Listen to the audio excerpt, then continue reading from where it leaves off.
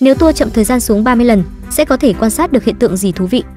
Nhìn những khoảnh khắc trong chuyển động chậm, luôn cảm thấy rằng thời gian thật kỳ diệu. Ví dụ, đá một quả bóng chứa đầy nước, sẽ thấy rằng thời điểm chân chạm vào quả bóng, hình dạng của quả bóng đã thay đổi đi rất nhiều, diện tích lớn hơn nhiều so với bình thường. Sau đó ném quả bóng bay lên không trung, người đàn ông dùng nắm đấm đập vỡ quả bóng bay. Qua ống kính chuyển động chậm có thể thấy, nắm đấm đập xuyên qua bóng bay, nước bắn ra xung quanh do lực tác động. Rồi lại để cô gái trẻ, một tay cầm bóng, một tay cầm dao, thời điểm đâm xuyên qua, quả bóng nước giống như đầu người đeo kính dâm.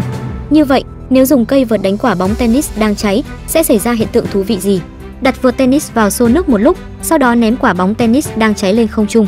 Khi tua chậm lại để quan sát, khoảnh khắc vợt tiếp xúc với bóng, quả bóng tennis đã được tách ra khỏi ngọn lửa. Khi vợt bay về phía trước, ngọn lửa cũng thành đốm lửa bám theo phía sau, rồi biến mất trong không trung.